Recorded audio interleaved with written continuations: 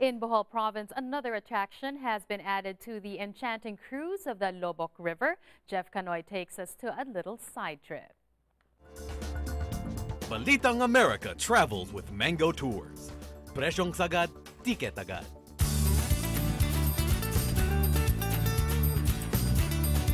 The cruise along the Loboc River treats tourists to a sumptuous buffet and a serenade.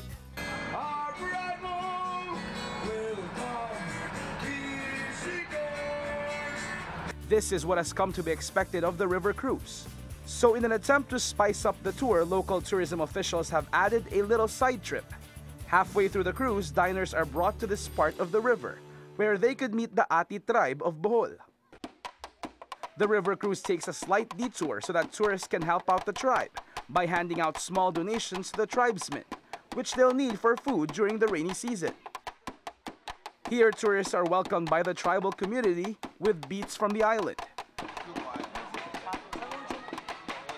Members of the tribe would then mingle with the tourists.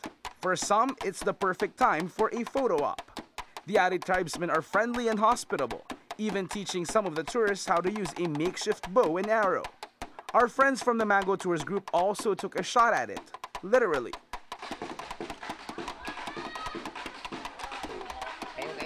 The kids from the Ati tribe also had their exhibition, showing off their amazing acrobatic skills.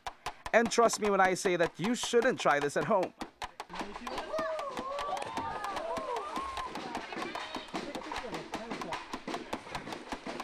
The boatman only allows tourists a short amount of time with the Ati tribe, but even just for a few minutes, the hospitality shown by the group will certainly make a lifetime's worth of fun memories.